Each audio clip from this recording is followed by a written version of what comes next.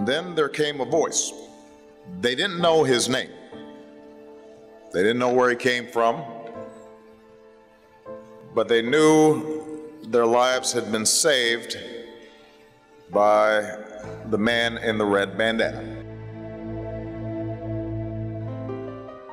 Welles was in his office on the 104th floor of the World Trade Center when tragedy struck. He didn't hesitate and sprang into action, helping those around him. Among the chaos, he became a voice of calm, of hope. Wearing his red bandana, Welles fought back flames with fire extinguishers, tended to the wounded, and led people downstairs to safety.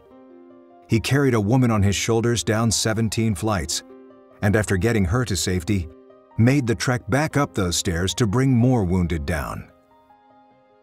On that day, Welles stood side by side with firefighters and gave his last, saving the lives of 18 people who knew him only as the man in the red bandana.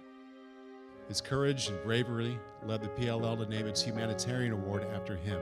And the winner is Scott Ratliff. Welles was put in a circumstance that you know, we pray that, that nobody else in this room would ever be put in, but in that circumstance, he chose to put other people ahead of himself. And you know, I've always had this this belief or this dream that you know I could change the world, and I believe you can change the world just by impacting one person. And the way you do that is you put other people ahead of yourselves. And so it's really humbling and it's a really big honor to be up here and to accept this award with, with that name on it. And you know, lastly, I, I do want to thank my parents, um, who are a huge example for me and you know have always encouraged me to, to be somebody that put other people first and, and try to follow my dreams and follow my heart. Thank you.